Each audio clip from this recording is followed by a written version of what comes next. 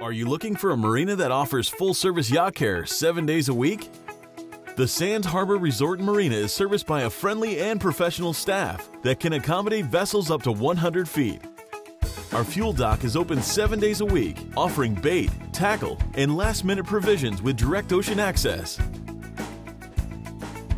Come join us poolside or at one of our three on site restaurants with plenty of dockage for boats of all sizes.